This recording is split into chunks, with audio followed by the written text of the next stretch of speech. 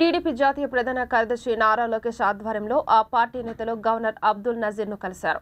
Party నేతలతో కలిసి విజయవాడలోని రాజ్కు వెళ్ళిన నారా లోకేష్ గవర్నర్కు ఎనిమిది పేజీల లేఖను అందించారు. అందులో చంద్రబాబు సహా ఇతర టీడీపీ నేతలపై ఇప్పటి వరకు నమోదు చేసిన కేసుల వివరాలు కూడా ఉన్నాయి. ఏపీలో భయానక వాతావరణాన్ని సృష్టిస్తున్నారని లోకేష్ గవర్నర్కు ఫిర్యాదు చేశారు.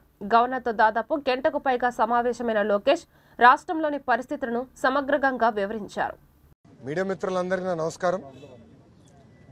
ఈరోజు తెలుగుదేశం పార్టీ బృందం గవర్నర్ గారిని కలుస్తాం జరిగింది. గవర్నర్ గారికి చాలా స్పష్టంగా జగన్లో నరనరాల కక్ష సాధింపు తప్ప ఏమీ లేదని స్పష్టంగా ఆధారాలతో సహా చూపిస్తాం జరిగింది.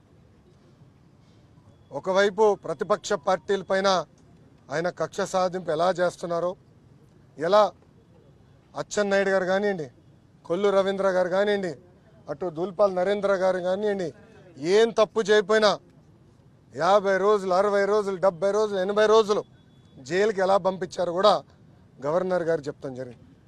అంతేకాకుండా తాడిపత్రిలో ఉన్న మాజీ శాసనసభ్యులు జేసీ ప్రభాకర్ రెడ్డి గారి పైన ఎట్లా వంద కేసులు పెట్టి నిన్న మొన్న కూడా ఒక కేసు పెట్టి వేధిస్తున్నారో ఆయనకు చెప్తాం జరిగింది. ఈ ప్రభుత్వ అధికారంలోకి వచ్చిన తర్వాత దాదాపు రెండు వందల అరవై కేసులు తెలుగుదేశం పార్టీ సీనియర్ నాయకులపైన ఎలా పెట్టారో కూడా వివరాలతో సహా మేము గవర్నర్ గారికి ఇస్తాం జరిగింది. అంతేకాకుండా రాష్ట్ర వ్యాప్తంగా తెలుగుదేశం పార్టీ కార్యకర్తలపైన సానుభూతి పరులపైన అరవై వేల కేసులు ఎలా పెట్టారో కూడా గవర్నర్ గారికి చూపిస్తాం జరిగింది. నేను యువగలం పాదయాత్ర చేసినప్పుడు నా పైన కానీ నాయకుల పైన కానీ వాలంటీర్ల పైన ఎలా కేసులు బనాయించారో కూడా చెప్తాం జరిగింది.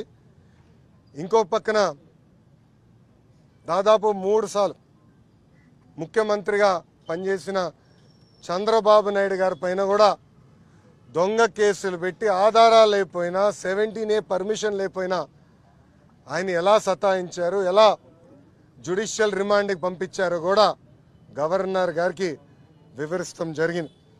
దాంట్లో చాలా స్పష్టంగా మూడు వేల కోట్ల అవినీతి అన్నారు. దాని తర్వాత మూడు వందల డెబ్బై కోట్ల అవినీతి అన్నారు. ఇప్పుడు రొ- ఇరవై ఏడు కోట్ల అవినీతి అని చెప్పారు. అది కూడా పార్టీ అకౌంట్లో ఎక్కడో డబ్బులు పడినాయని చెప్పి ఎలా ఈ ప్రభుత్వం ఎలాంటి ఆధారాలు లేకుండా చంద్రబాబు నాయుడు గారిని ఇబ్బంది పెట్టిందనేది గవర్నర్ గారి దృష్టికి తీసుకెళ్తాం జరిగింది. ఇంకో పక్కన పవన్ కళ్యాణ్ గారు ఆనాడు రాష్ట్రానికి రావాలనుకున్నప్పుడు ఎలా అడ్డుపడ్డారు కూడా చెప్తాం జరిగింది. ఇంకో పక్కన ప్రజల పైన కూడా ముఖ్యమంత్రి ఎలా కక్ష సాధింపు చేస్తున్నాడు కూడా చెప్తాం జరిగింది అమర్నాథ్ గౌడ్ ఘటన గురించి కూడా ఆయన దృష్టికి తీసుకెళ్ళాం. శ్యామ్ కుమార్ దళిత కుర్రోడ్ పైన ఎలా వైకాపా నాయకులు ప్రవర్తించారో చెప్పాం. మిస్బా పదో తరగతి పాప మిస్బా బాగా చదువుతుంది. వైకాపా నాయకుడు కూతురు సెకండ్ ర్యాంక్ వస్తుందని చెప్పి మిస్బాకి టీసీ ఇచ్చి పంపిస్తే ఆ మిస్బా ఆత్మహత్య చేసి ముందల లేఖ రాసి వైకాపా నాయకుడే కారణం రాసి ఆత్మహత్య ఎలా చేసింది కూడా చేసుకుంది కూడా ఆయన దృష్టి తీసుకెళ్ళాం. ఇంకో పక్కన జుడిషియరీ పైన కూడా ఎలా ఈ ప్రభుత్వం గతంలో దాడులు చేసింది ఇప్పుడు కూడా దాడులు ఎలా చేస్తుందో వైకప్ప నాయకులు కార్యకర్తలు ఎలాంటి దాడులు చేశారో కూడా ఆయన దృష్టికి తీసుకెళ్తాం జరిగింది.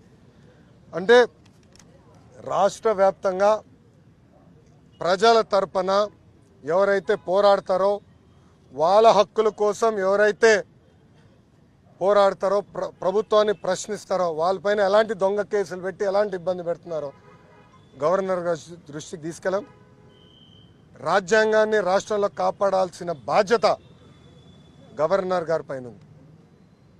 ఆ రాజ్యాంగాన్ని కాపాడవలసిందిగా గవర్నర్ గారిని ఈరోజు కోరటం జరిగింది.